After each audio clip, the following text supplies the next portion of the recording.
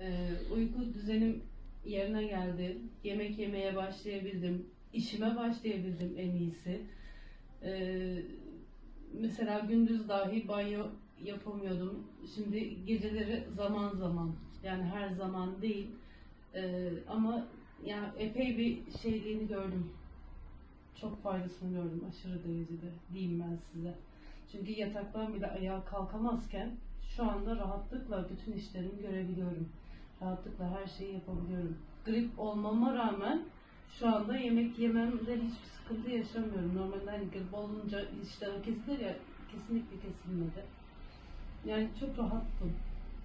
Topluma girebiliyorum, topluma giremiyordum. Gürültüye asla kabullenemiyordum, giremiyordum. Şimdi onlara da girebiliyorum.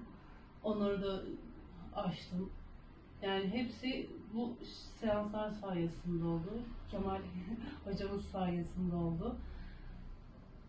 Yani daha ne diyebilirim ki?